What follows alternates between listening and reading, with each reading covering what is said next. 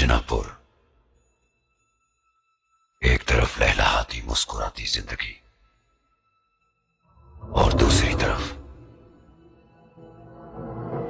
Ban करती हुई मौत।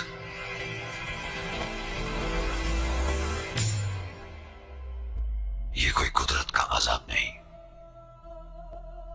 बल्कि कल्लू के काल का असर है।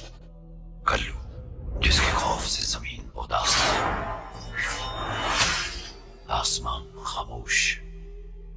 रजनापुर में पैदा होने वाला हर बच्चा कल्लू की फौज का हिस्सा। वरना मौत का लुकमा।